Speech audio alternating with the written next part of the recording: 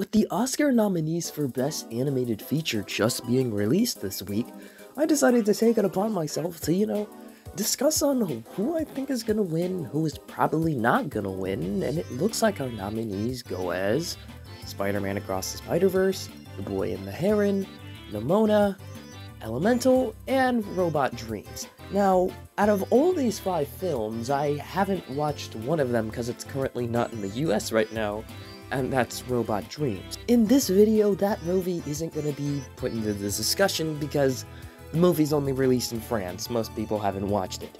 So, today, we're going to be talking about these four films and who I think is actually going to come out on top and actually win the award.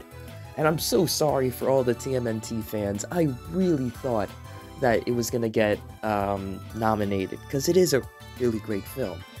But it looks like it's coming down to these five films. But before we start, make sure you like, comment, and subscribe, and let's get into the video. Now, I'd say coming at the bottom, in my opinion, out of these four films, is Elemental.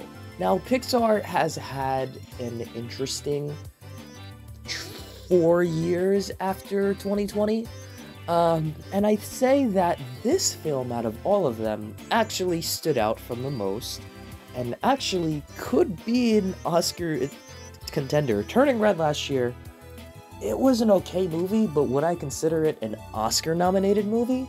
Not really. I say the best film before Elemental was probably Soul. Soul made the most sense. But with this movie, I'd say it has kind of a chance. I mean, it's the Pixar's first ever rom-com. I mean, it's kind it's just a rom-com. It's kind of a comedy. Um, I'd say really just just the dynamic with Wade and Ember. It's really good and it's a really touching ending. And you know, it's a good movie on its own, but would I consider it the best film of the year? Probably not, cuz it's just it's a good Pixar film. It's nothing spectacular, it's crazy to say, but the Oscars aren't force feeding Disney anymore with just automatically giving them the award. 2019 was the ultimate disrespect. Once when Toy Story 4 actually got the award for Best Animated Film of the Year, everyone was outraged, and so many people wanted Klaus to win the award. But, and I'm still pissed about that to this day. But now, with all the 2023 movies, Disney's Wish didn't even get nominated. It hasn't gotten nominated for a lot of award ceremonies. And that just proves to show that Disney really needs to wake up. Because their films just aren't turning out that great. The Oscars isn't just gonna force feed it and just magically allow them to get nominated. Elemental was really the only good Disney film. It wasn't even a Disney film, it was a Pixar film that came out this year. So Disney needs to wake up. And Elemental, I'd say it deserved the nomination. Coming up next is Nimona. Now, this is a film that's also a massive slap in the face for Disney. This could have been a Disney film. You never know. If there is another timeline where Disney might have actually had the balls to actually just let this happen. But no, Disney tried to turn away this film, they tried to scrap the project, but thankfully Netflix picked it up and we were able to get this film from Annapurna Pictures thank you because the world really needed this film. It's a really, really great film. It's one of Netflix's best animated films. If you have not watched this yet, please go watch it. The animation is great, the story is really great, and the messages and the climax. The climax itself really opened my eyes for what this movie was. It was kind of like a, a goofy dynamic between Ballister and Nimona, but once we started getting to the middle point and started going into the climax, I, it started to make me wake up on what this movie was. And it was something way more special than a lot of people thought this movie was going to be. And if any of the Netflix animated films that came out this year deserved it, it was definitely Nimona. And now there is competition here. This is a really tough group of animated films that are getting nominated but if a certain other film that I'm about to get into next wasn't nominated, I would put Nimona at number two.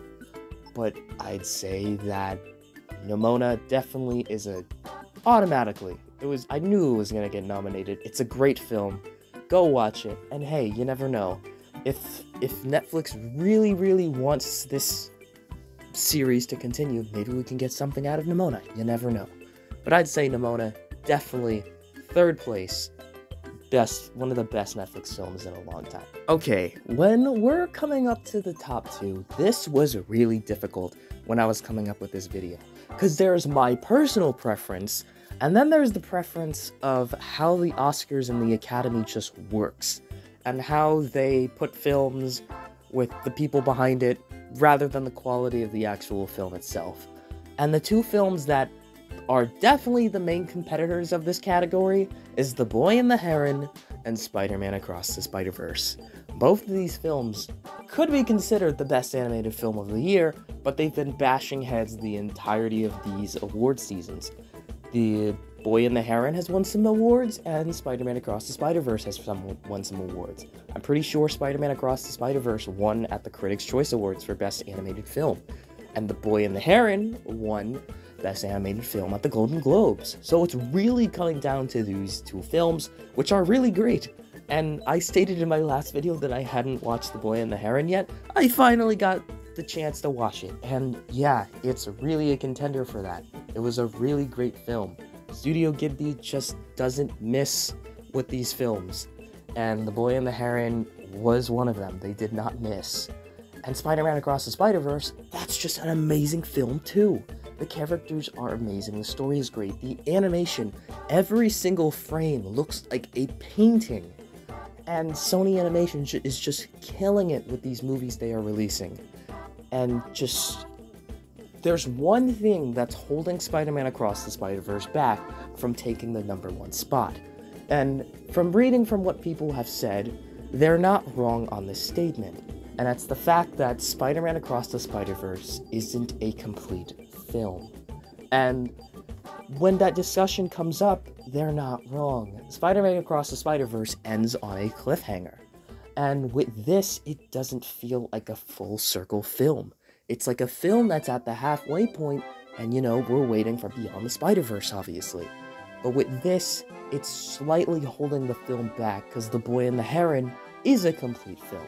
It's not a film that ends on a cliffhanger, and we have to wait forever long, many years for a sequel to come out. And with that, mind you, this is a movie that is behind one of the best people in the entire animation industry around the world. And this is one of his last films. So to think that the Academy would disregard this movie is a little unlikely for them to do. And as much as I would want Spider Man Across the Spider Verse to win this award, there's a really good chance that the Academy will hand this award over to The Boy and the Heron. Even though I prefer Spider Man Across the Spider Verse, it just makes sense that there's one film that's not fully complete, which is still one of the best animated movies ever. And The Boy and the Heron, that people consider one of the best animated movies of the year, is a complete film. But don't get me wrong, once Spider-Man Beyond the Spider-Verse comes out, that is definitely winning Best Animated Feature.